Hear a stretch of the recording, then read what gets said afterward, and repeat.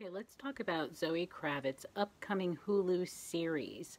Uh, it is called High Fidelity, based off of the uh, film that featured uh, John Cusack years ago. Uh, it revolves around Gordon, Robert Gordon, who was a failing record store owner. In this particular version, Zoe Kravitz, there's a gender swapped version, and she is playing Gordon, 20 something who works in a record store in Sunny Crown Heights, Brooklyn, and unpretentious location.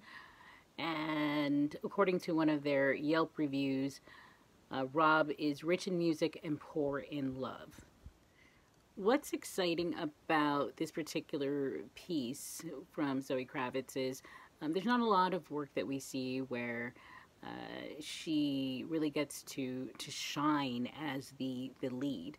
So um, hoping the best for Zoe Kravitz with this piece. Hopefully it really makes her stand out. Of course, she's been working as an actress for years and everything from the X-Men to um, hit shows in supporting roles. But congrats on landing this opportunity as the lead in High Fidelity.